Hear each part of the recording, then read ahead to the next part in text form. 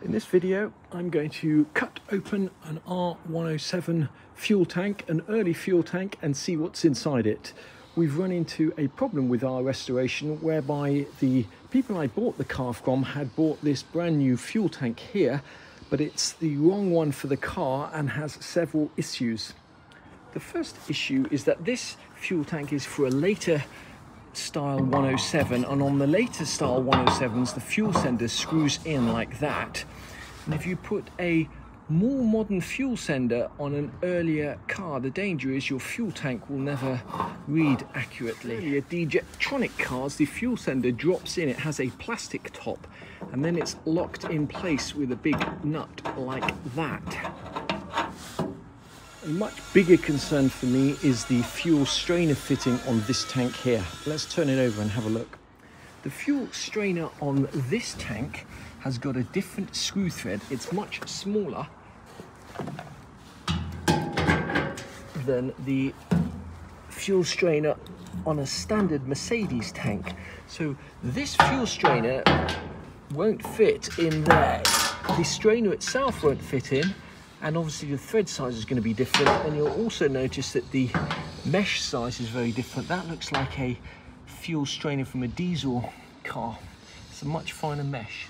Now I've seen this style of fuel tank for sale on eBay. There's a company called SJS Car Styling in Germany that sells them. And if anyone has bought a tank like that I would be so interested to know how the fuel pipe seals in Standard Mercedes fuel strainer has a seat inside it where the edge of this pipe seals to, the strainer which comes, comes with that tank there, or came out of that tank, just threads just go all the way through and this would screw all the way in and presumably you'd be just trying to seal it on this edge of this nut, which is not great at all, whereas on this here, this only screws halfway in and seals against the seat inside. The other alternative to using that new fuel tank is to use the fuel tank that actually came with the car when we bought it. The problem with that is you can see that this fuel tank has been patched several times. There's a patch there, there's another patch here, and also the pipe here is rusted out. Now all of that can be repaired, but the tank would have to be cut open and relined. And as I say, that is similar to the cost of actually getting a new tank. So let's cut open this tank here from a similar year, year of car and actually get an idea with what you would find inside a tank of that age, both in terms of rust, but also in terms of uh, the venturi and where all the pipes go. The moment of truth, let's see what's inside one of these tanks. Now this here is the breather line that runs out here. And that's the part that's damaged on our other tank, so we could potentially use that. Top of the tank, you've got these hoses here, one, two, three, four, five, and these all go to the plastic header tank, which sits on top of the you see tank. that they come in here.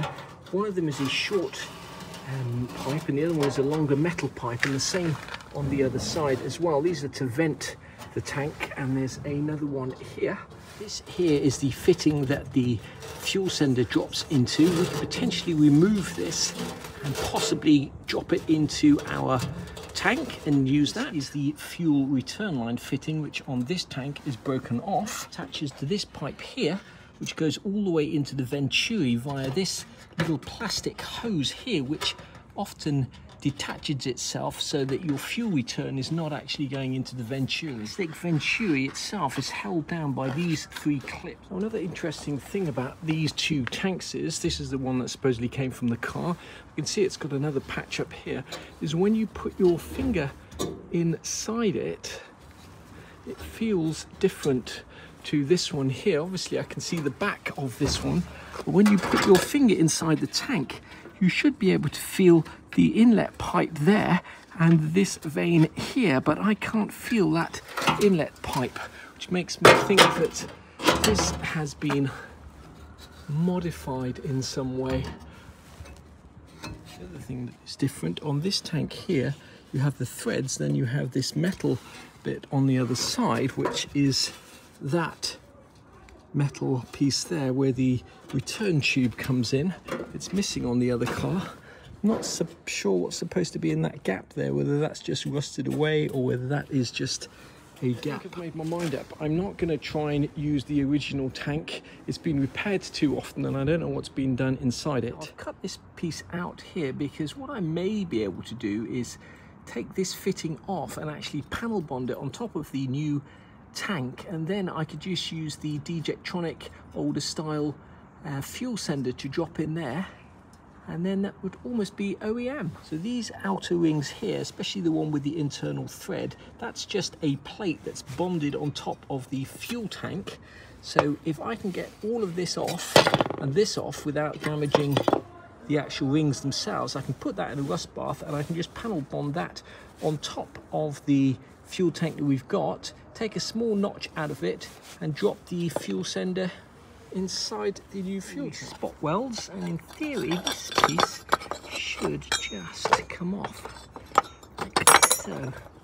So all we have to do now is either grind off this, these are spot welds here, or cut these, grind these spot welds out or cut them out and then that should separate from the ring which hopefully we can use. Once we've finished sanding off, grinding off all those spot welds, the idea will be that this will sit over or be panel bonded onto the tank. We'll obviously put that in a rust bath first and then we will just drop this inside there like so and the cap will screw on it'll have the right fuel sender and that will look pretty OEM and you'll never know that was not a D-Jetronic early SL tank. Comes to the underside of this tank here, the fuel strainer side, we've got two choices. We could either go with the fuel strainer that came with the tank, screw that in and then Option one would be to glue a fitting like that in and just use a bit of fuel pipe. The advantage of that is you could still get a socket over there to undo this at a later date if you ever needed to check the fuel strainer.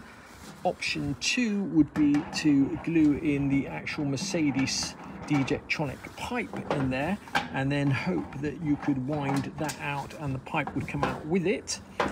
Option three is to very carefully cut a circle out of here and cut a smaller circle out of this tank here and panel bond that circle on top of there. Then you would have the OEM style threads for the OEM fit strainer and that whole arrangement would be covered by the pad that glues on there so that's one option. I haven't decided what I'm going to do with that yet. I'll have a little think, but I'm going to leave this video here. I hope it was interesting for some people to see A, what the inside of a fuel tank looks like, and B, might help some people avoid going out and buying a cheap non-OEM fuel tank and running into these kind of problems. If you go along to eBay and you type in R107 fuel tank, you will see those style of tanks here, two of them both in Germany. These are both exactly the same tank. And if you click on the pictures and you actually look at the reverse, you can see that non-standard fitting there. You might save yourself a few hundred pounds or think you're saving money getting one of these tanks, but just beware that when you comes to trying to seal that fuel pipe to the underside of the tank, you may well run into problems. I mentioned these guys before and I will mention them again. I'm sure you can also get a fuel tank from Euro Parts in America. Sadly, they are out of stock, which is a shame because I'd be interested to see how much they charge for a fuel tank. Also buy tanks, fuel tanks from the SL shop. Um, but you'll notice they don't show a picture of the reverse of the tank. And if you actually scroll down to the description, they do say here, please note the fuel tank does not come with any attachment parts like fuel sender unit, not designed to work with the original Mercedes-Benz fuel strainer. So I'm assuming that the tank that they sell is exactly the same as the tank that we've got that has all sorts of issues